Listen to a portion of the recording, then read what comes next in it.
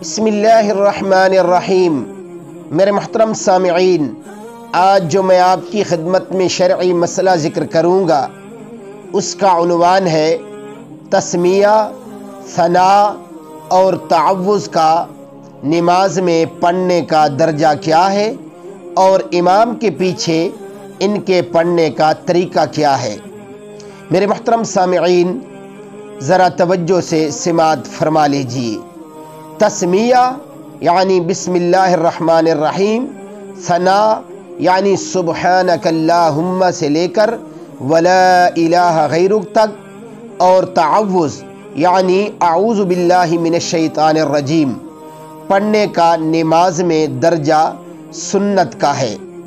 یعنی جو ان کو پڑھے گا، اسے نماز میں سنت کا بھی ثواب ملے گا۔ اور گویا نماز کا پورا پورا اجر ملے گا۔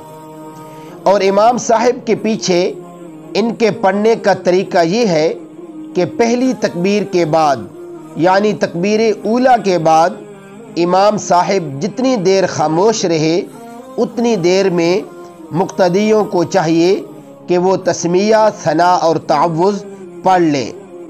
اب یہ ہم مقتدیوں کا کام ہے کہ آپ صلی اللہ علیہ وآلہ وسلم سے ہمیں کتنا پیار ہے کہ آپ صلی اللہ علیہ وآلہ وسلم کی کوئی بھی سنت ہم سے نہ رہے، چاہے وہ نماز میں ہو یا نماز سے باہر کی ہو۔ اللہ مجھے آپ کو عمل کرنے کی اور آگے تک پہنچانے کی توفیق عطا فرمائے۔ واخر دعوانا ان الحمد للہ رب العالمین۔